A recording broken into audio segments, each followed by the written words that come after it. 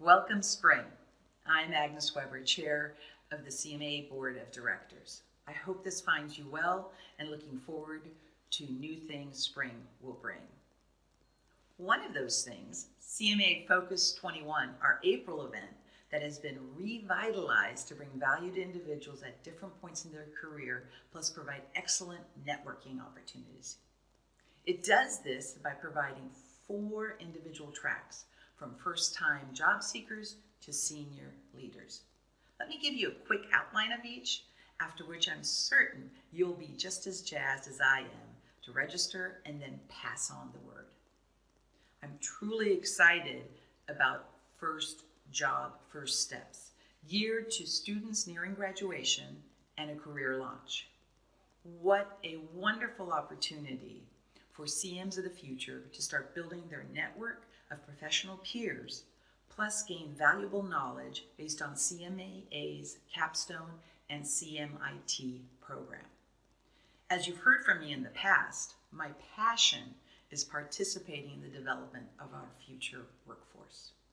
The Future Leaders track will focus on individuals who have five years or less in the profession Attendees will gain knowledge from CMIT levels 2 through 4 in areas such as quality management, safety and risk, value engineering, as well as soft skills development such as communication, time management, and building relationships.